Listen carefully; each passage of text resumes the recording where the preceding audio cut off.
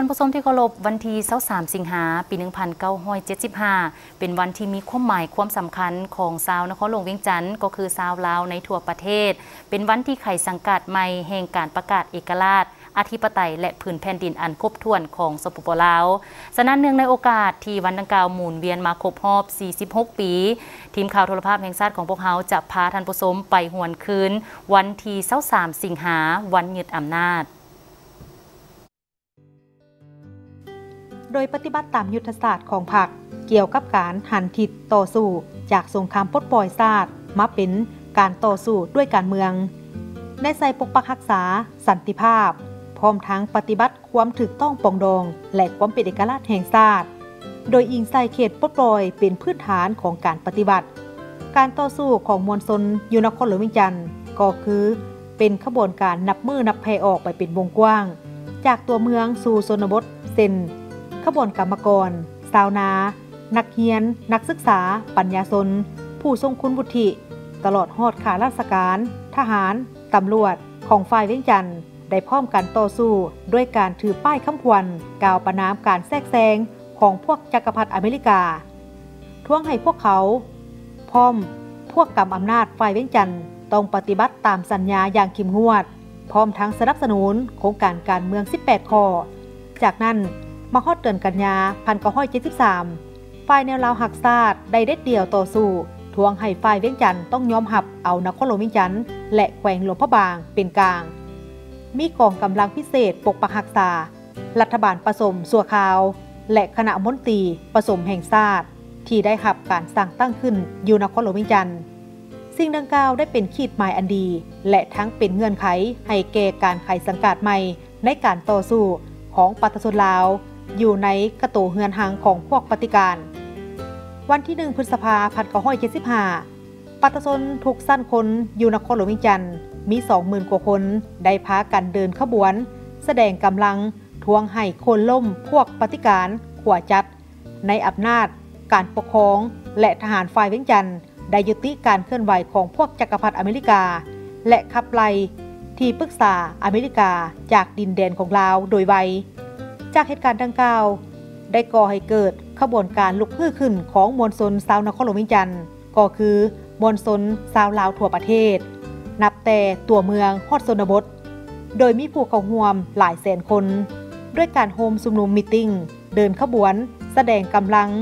ยืนขอประท้วงและอื่นๆ โดยได้รับการสวยหนุนจากกองกำลังประกอบอาวุธปฏิบัติ ในวันที่23พฤษภาพันธ์1975 กำลังของกรรมกรข้าราชการ นักเรียน นักศึกษาเวียงจันทร์ได้ยึดเอาองค์การยูเซตมาฮอดวันที่27พฤษภาพันธ์1975 สถานทูตอเมริกาต้องยอมหับการยุบลบล้างกงจักลาเมืองขึ้นแบบใหม่ของอเมริกาอยู่ลาว ทั้งหมดอย่างสิ้นเชิงสำหรับยูนครโลวิจันทร์เริ่มแต่คำคืนของวันที่22สิงหาพัน1975 ทุกๆบ้าน ทุกๆเฮือน ได้มีการห่างหากะเกียม โดยบ่ได้รับบ่ได้นอน เพื่อพร้อมกันซุ่มนุมมิตติ้งใหญ่อยู่เดินทัดหลวง เริ่มแต่เวลาศูนย์โมงของวันที่23สิงหาพันเก้าร้อยเจ็ดสิบห้ากำลังมวลชน20,000 คนที่เป็นตัวแทนของสั้นคน ในนครหลวงวิจันทร์ได้จัดตั้งเป็นก้อนกำลังน้อยใหญ่ ถือป้ายคำควรที่มีเนื้อในบ่งบอกถึงการคนล่มอำนาจการปกครองเก่าที่เนาเมน และสร้างตั้งอำนาจการปกครองปฏิบัติขึ้น แทน ในเวลา 8 โมง 30 นาที พิธีโฮมซุมนุมมิติ้งใหญ่ได้ไขขึ้นอย่างเป็นทางการ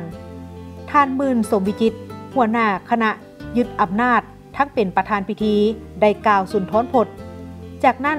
ท่านเผ่าพิมจันทร์ต่างหน้าอำนาจการปกครองปฏิบัติ ได้ขึ้นกล่าว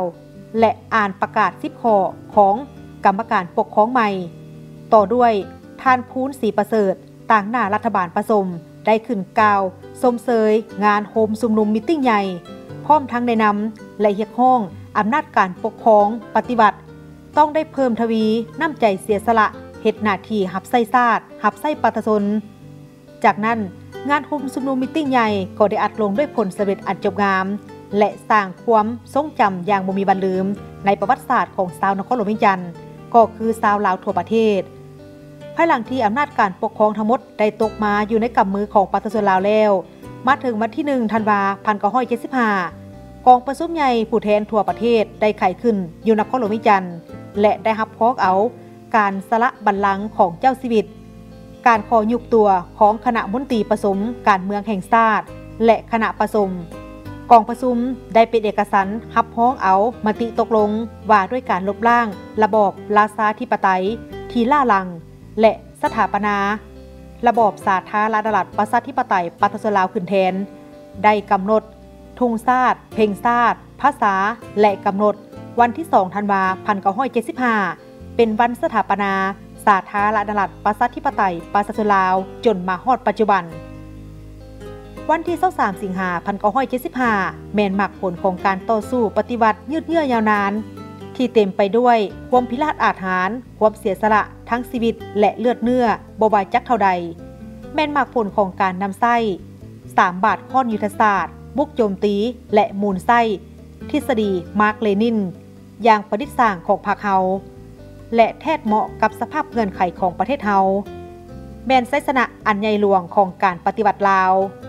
ซึ่งมันได้ซี่ให้พวกเขาเห็นจะแจ้งถึงความปีศาสามารถ สลาดส่องใสของพรรคปฏิชนปฏิวัติลาว เป็นการบ่งบอกถึงความปราศัยอันเจ็บแสบ อับอายขายหน้าของพวกจักรพรรดิและพวกปฏิการขายซาดฝ่ายเวกจันทร์แมนวันไข่สังกัดใหม่ของปัตสุลาวก็คือซาวนครหลวงวิจันทร์ที่ได้มีความเป็นเอกราช มีอำนาจ อธิปไตย และพื้นแผ่นดินอันครบถ้วน มีระบบการเมืองที่เป็นเอกภาพ มีพรรคเป็นแกนนำประเทศชาติ ได้รับการสร้างสาพัฒนา สังคมมีความสงบ มีความเป็นระเบียบเรียบร้อย